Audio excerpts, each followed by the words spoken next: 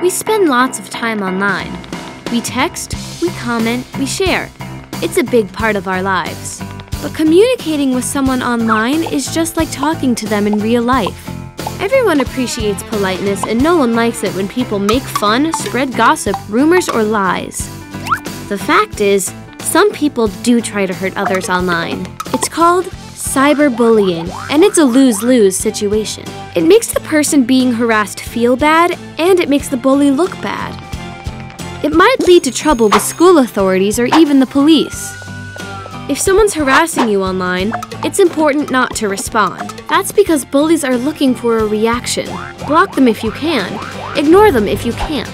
If it continues, save the evidence and ask an adult for help. And don't be afraid to stand up for yourself or to stand up for someone else being cyberbullied. This behavior usually stops pretty quickly when someone speaks up. And when you're communicating online, remember to treat people the way you'd like to be treated. Know how to handle yourself because being online is part of your life. So stop and think before you click.